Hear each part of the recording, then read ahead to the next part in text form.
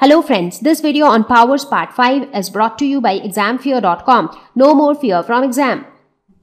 So now that we got a fair idea about the negative exponents, let us look at the laws of exponents. So we have already learned about these laws of exponents for positive exponents. So the same laws are true for negative exponents as well. That is if you have any two integers a and b, a to the power m into a to the power n is equal to a to the power m plus n. That is whenever the bases are the same and you are trying to multiply them, then the exponents will get added when bases are the same and you are trying to divide them and the exponents get subtracted that is a to the power m divided by a to the power n gives a to the power m minus n. Now if you are trying to find out the power of a power that is a to the power m and this whole power to the power n that is equal to a to the power mn that is a to the power product of both the exponents now, if you come across a scenario where the bases are different but the exponents are the same and you are trying to multiply them. So in that case, your result would be the product of the two bases to the power the exponent that is AB to the power M. The same is true for division as well. So when your bases are, are different but exponents are same, the result becomes the division of the two bases to the power the same exponent a to the power 0 is equal to 1. Any number to the power 0 would always be 1. So let's start with powers of the same base. But this time the examples that we will take, we will consider only the negative exponents. So what happens when we multiply or divide powers with same base?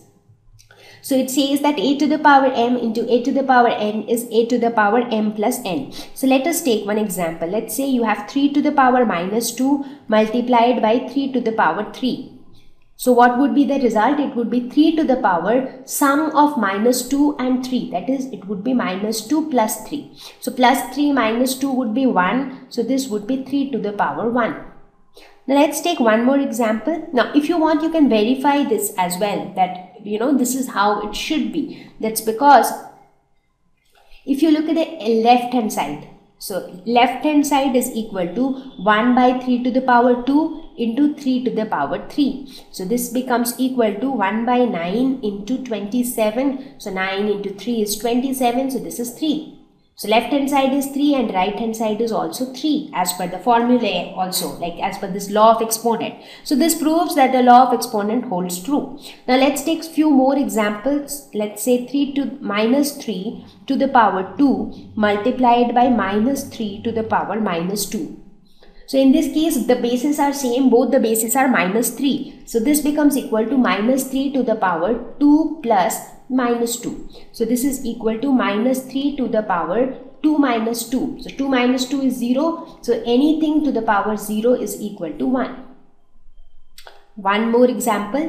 3 to the power minus 2 multiplied by 3 to the power minus 4. So here both the powers are negative. So what would happen? The logic would still remain the same. It would be minus 2 plus minus 4. So this would be equal to minus 2 plus minus 4 would be minus 6. So 3 to the power minus 6 would be the answer. Now let us look at division. So here let's say the first example that we consider is 5 to the power 3 divided by 5 to the power minus 2. So this would be equal to 5 to the power 3 minus minus 2.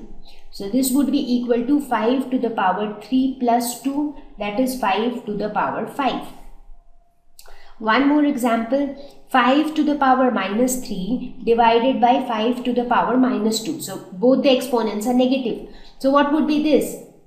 Find out the subtraction between minus 3 and minus 2. So this would be minus 3 minus minus 2.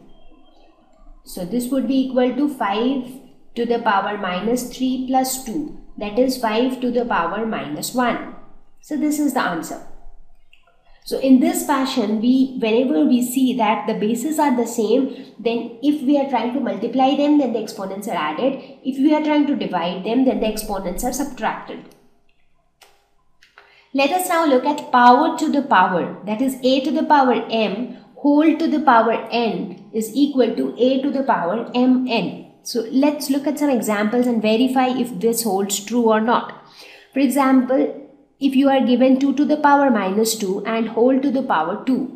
So as per this law, this should be equal to 2 to the power minus 2 into 2. That is 2 to the power minus 4. So this should be the answer. But let's try to verify this.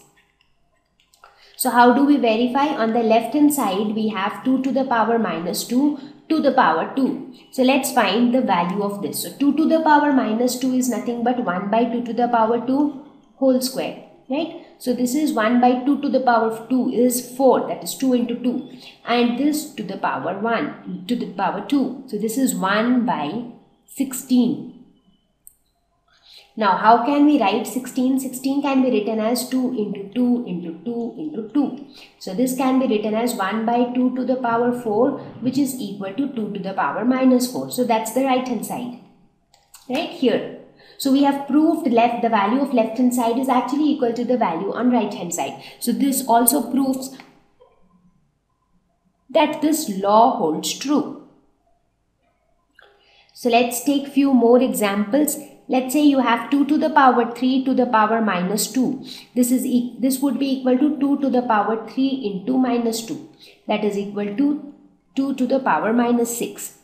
Now, if you have something like this, where both the powers are negative, that is 2 to the power minus 3 to the power minus 2. So, in this case, this becomes 2 to the power minus 3 into minus 2. So, this would be 2 to the power 6. So, in this fashion, whenever you have two powers like a to the power m whole to the power n, this can be written as a to the power mn, that is product of the powers.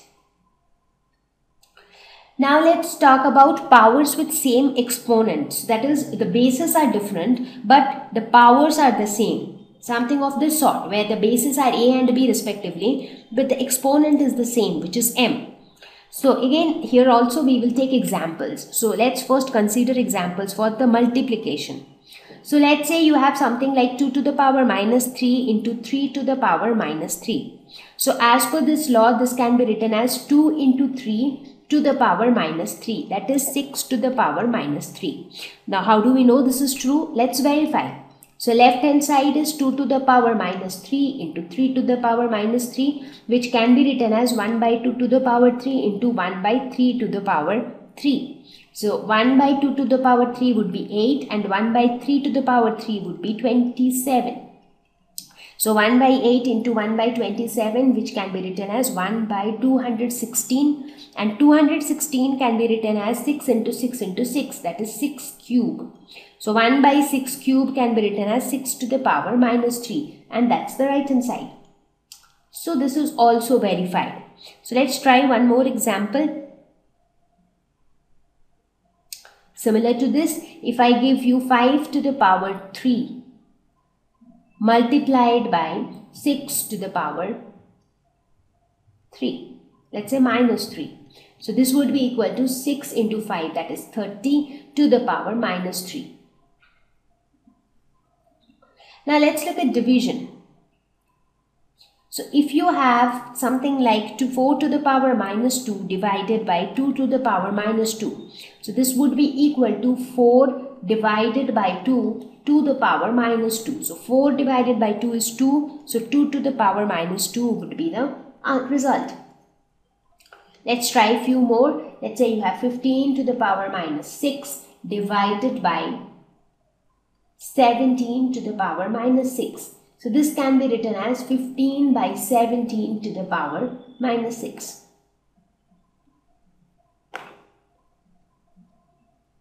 Now let us look at few more examples and let's see how do we apply the laws of exponents. So if you have something like this which needs to be solved, so what would you do? So let us look at the first one. So here you see the base is minus 4, here also the base is minus 4.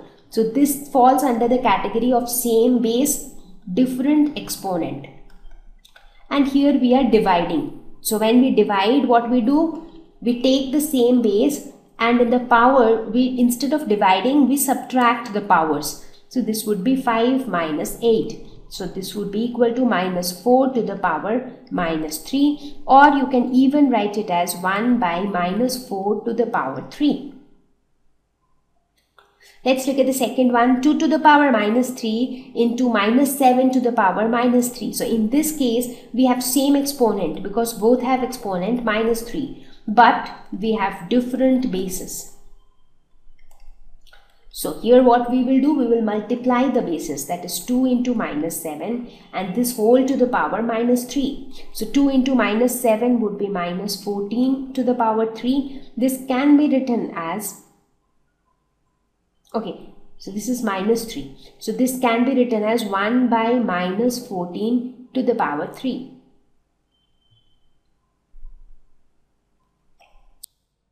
Thank you. Please visit examfear.com for free quality education. You can learn with a simple four-step learning process wherein you can watch video lessons, you can ask your questions, you can refer notes and you can take a free online test. We have content for class 6 to 12 on physics, chemistry, mathematics and biology along with practical videos. So please subscribe to our channel for daily updates. Thank you.